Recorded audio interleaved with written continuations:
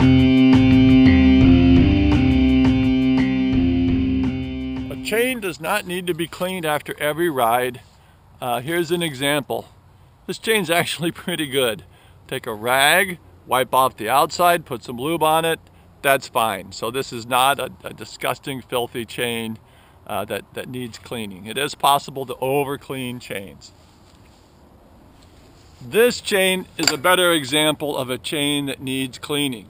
Can see the pulleys are disgusting, a lot of filth, so this is something that could benefit from a chain cleaning. But uh, don't assume just because you've done a ride that your chain needs cleaning. Uh, so not only is the chain dirty here, uh, the pulleys are dirty. So we're going to actually start by wiping the pulleys clean.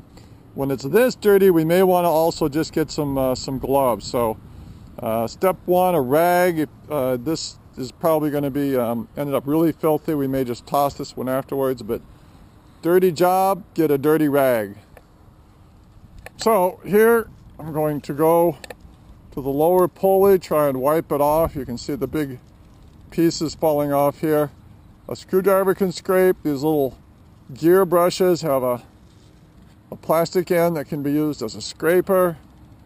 So we're going to get in here and get off the muck and the, probably some some grass, maybe pieces of big blue stem, goldenrod, who knows what what this bike contains. So try and get the pulleys clean as best we can. Uh, these cogs are also filthy. I'm not going to worry about them. This is actually a case of pulling the wheel and then wiping them down separately. Chain rings, wipe off what you can, inside and out. Then we will get to the, uh, to the chain. Another case where this aggressive bristle brush can get inside and clean. So, uh, that's what we begin with before we even get the chain cleaner out when it's when it's this dirty.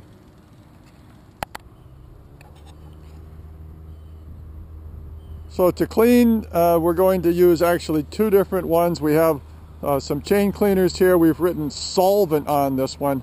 This one is going to be for our solvent. It's a d-limonene based um, degreaser. Uh, we can actually get lots of uses out of this. So we're just going to keep some fluid in here and fill it up as, as we need. So there's springs that we open up. You can see the spring here, that's closed. So we pull that back, that's open. If the springs are gone or missing, you can just hold it down with your, with your thumb, that also works. So here, I'm engaging the chain in the lower case. I'm going to put the top lid on. I'm going to close. I'm going to close. Now we want solvent just about to that line. And it goes in the back here. So we're filling it up now with solvent. Again, uh, we can just keep it in there. That's why we keep it in the, uh, the cleaning tub, the chain cleaning tub. If it spills a little bit, no big deal. We can get many bikes out of out of one set of, uh, of solvent. Now the important part, we're going to back pedal. We're going to go backwards and we're going to hold the tool, but be sure to hold it straight. Don't twist it up and down. Notice the chain's horizontal, cleaner's horizontal. So it's like this. If you get twisted off, you're shifting the chain. So make sure it's, it's straight. You, you are effectively the guide pulley for the front chain rings. So we're distributing and scrubbing is passing through rotating brushes here, distributing the fluid. You can see here it's starting to come off. So we're probably going to go 30 or 50 times rotation on this one. Typically not not uh, not this much is needed. Let's stop and have a peek.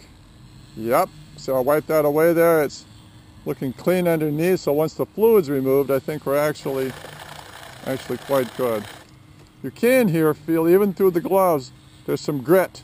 So we're going to remove that grit with a different solvent uh, base a different uh, system called soap and water. So that's off now. Again, going to leave that closed. That's going to be for the next, the next dirty chain. Get lots of use out of that solvent. So, this one is soap.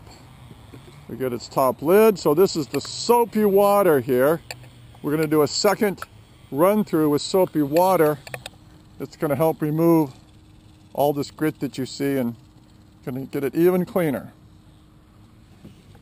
Good way to, to do this is to just take our sponge, just fill it completely. Look at that.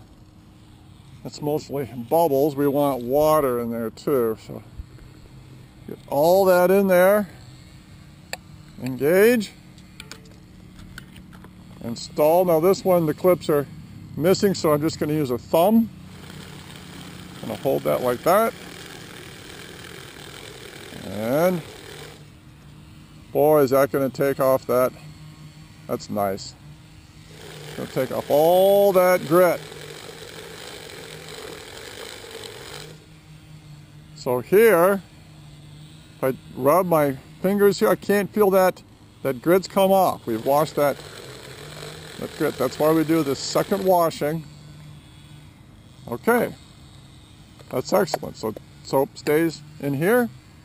This goes back. Do not put this on the grass. Do not put this on the table. It goes directly in our in our bucket here. Now, on this one that's really, really bad, the last thing we would do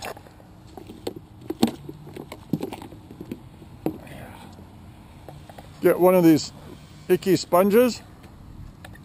I'll show you what the icky sponge does. One more. Uh, um, one more rinse with the icky sponge. There we go. It's taking that outside off. So quite, quite clean now. So we can proceed with the rest of the wash. It's going to drip dry. Uh, when you're done with the rest of the wash, give this a, a rag dry. Use a rag to, to dry it off. We can now recognize it's actually a bike chain. Uh, and at the end, we're going to do some lubrication right at, right at the end before we're done.